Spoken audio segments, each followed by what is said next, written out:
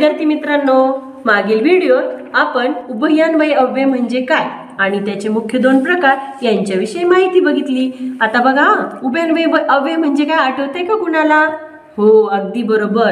दोन शब्द किंवा दोन वाक्य जोडणाऱ्या अविकारी शब्दांना आपण उभयान्वय अव्यय म्हणतो. आता त्याचे मुख्य दोन प्रकार कोणते? तर पहिला प्रकार प्रधानत्व सूचक उभयन्वय अव्यय. आणि दुसरा गौणत्व सूचक उभयन्वय अव्यय. आता त्यातील प्रधानत्व सूचक उभयन्वय अव्ययाचे चार उपप्रकार पडतात.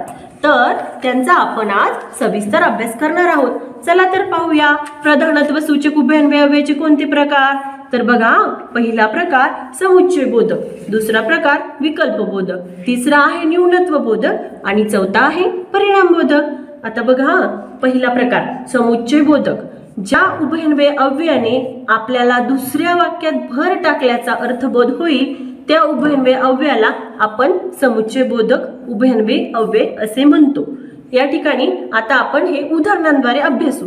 पहिलं उदाहरण बघा आम्ही पुस्तके वाचली आणखी कविता ऐकल्या. आता या ठिकाणी दोन स्वतंत्र वाक्य तयार झालेली. आम्ही पुस्तके वाचली एक वाक्य.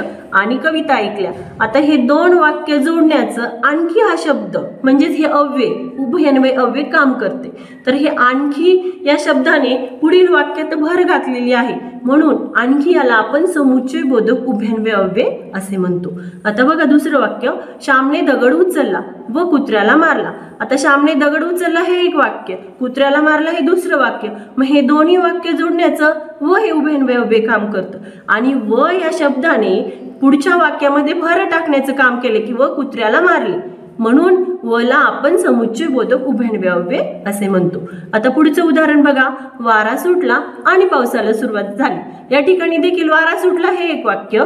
पावसाला सुरुवात झाली हे दोन वाक्य जोडण्याचं आणि या उभयन्वय काम केले. आणि आणि या शब्दाने आणखी पुढील वाक्यामध्ये भर टाकण्याचं काम केले म्हणून आणीला आपण समुच्चय बोधक उभयान्वय अव्यय असे म्हणतो. आले का मित्रांनो लक्षात? आता आपण पुढचा प्रकार पाहणार आहोत. पुढचा प्रकार म्हणजे विकल्पबोधक बोधक आता विकल्प म्हणजे काय रे? विकल्प म्हणजे इंग्रजीमध्ये आपण ऑप्शन म्हणतो किंवा आपण मराठीतून काय म्हणतो? पर्याय. थोडक्यात विकल्प पर्याय. आता बघा ज्या उभयन्वयव्याने आपल्याला विकल्प दाखविल्याचा अर्थबोध होतो त्याला विकल्पबोधक उभयन्वयव्य असे म्हणतो.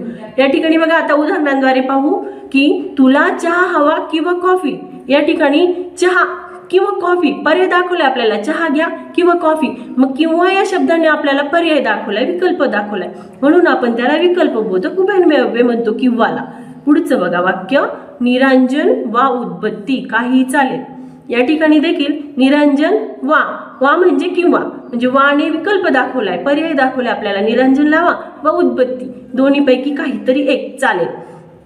पुढचं वाक्य बघा. या वस्तूमधून तुम्ही पुस्तक अथवा पेन घ्या. या ठिकाणी देखील अथवा या शब्दाने काय दाखवलं आपल्याला? विकल्प दाखवलाय. म्हणून अथवाला आपण विकल्पबोधक उभयन्वय म्हणतो. आता पुढचा प्रकार आहे तिसरा. तो म्हणजे न्यूनत्व बोधक आता या शब्दावरूनच लक्षात येईल. न्यूनत्व न्यूनत्व म्हणजे कमीपणा काहीतरी उणीव. पहिल्या वाक्यातील उणीव दुसऱ्या वाक्यात दाखवण्यासाठी ज्या उभयन्वय अव्ययाचा वापर केला जातो त्याला न्यूनत्व बोधक उभयन्वय अव्यय असे म्हणतात. या ठिकाणी उदाहरण बघा पहिलं. झाडाला खत घातले पण फुले आली नाहीत. या ठिकाणी बघा पहिल्या वाक्यातील उणीव दुसऱ्या वाक्यात दाखवलेली आहे. पण त्यासाठी कोणता अव्यय जोडलाय पण पण हा शब्द. पण हे उभयन्वय अव्ययाने काय दाखवले पण फुले आली नाही म्हणजे काहीतरी कमीपणा. कमीपणा राहिले की झाडाला खत घातले पण पण या शब्दाने कमीपणा दाखवलाय. म्हणून काय झाले परिणाम त्याचा फुले आली नाहीत. म्हणजे पण या शब्दाने न्यूनता दाखवली कमीपणा दाखवला म्हणून पणला आपण न्यूनत्व बोधक उभयन्वय अव्यय म्हणतो.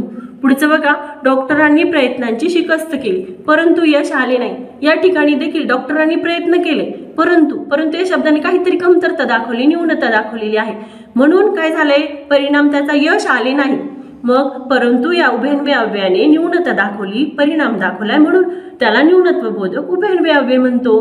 पुढचं बघा आता त्याने अभ्यास केला परंतु तो नापास झाला. त्याने काय केलं? रे प्रयत्न केलाय. अभ्यास केला परंतु काहीतरी कमतरता राहिली काहीतरी कमीपणा त्यांनी थोडा काही कमी झाला असेल त्यामुळं परंतु या शब्दाने ती कमीपणा न्यूनता दाखवली. म्हणून त्याला न्यूनत्व बोधक उभ्यान्वय अव्यय असे म्हणतो. आता आपण चौथा प्रकार बघणार आहोत. हा शेवटचा प्रकार आहे. परिणामबोधक उभयान्वयी अव्यय. आता जे उभयान्वयी अव्यय आपल्याला एखाद्या क्रियेचा परिणाम दाखवतात. त्यांना आपण काय म्हणतो? परिणामबोधक उभयान्वय अव्यय.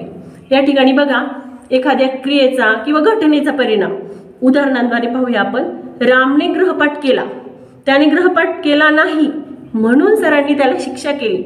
या ठिकाणी बघा परिणाम दाखवलेला आहे म्हणून या उभय उभयान्वय अव्यय जोडून तर त्याने ग्रहपाठ केला नाही म्हणून काय झाला त्याचा परिणाम? तर सरांनी त्याला शिक्षा केलेली आहे. म्हणजे क्रिये या ग्रहपाठ केला नाही या क्रियेचा परिणाम म्हणून या अव्ययाने उभयान्वय अव्ययाने दाखवलेला आहे म्हणून त्याला परिणामबोधक उभयान्वय अव्यय असे म्हणतो. आम्हाला उशीर झाला सबब जवळच्या वाटेने परत आलो. या ठिकाणी देखील आम्हाला उशीर झाला. म्हणून काय झाले सबब आम्ही जवळच्या वाटेने परत आलो म्हणजे या ठिकाणी सबब या शब्दाने आपल्याला परिणाम दाखवलेला आहे. म्हणून त्याला परिणामबोधक बोधक अव्यय असे म्हणतो. पुढच्या वाक्यात बघा गीताला वाचता येत नाही म्हणून ती गप्प होती. आता गीताला वाचता येत नाही याचा परिणाम म्हणून या शब्दाने दाखवलेला आहे या अव्ययाने दाखवलेला आहे.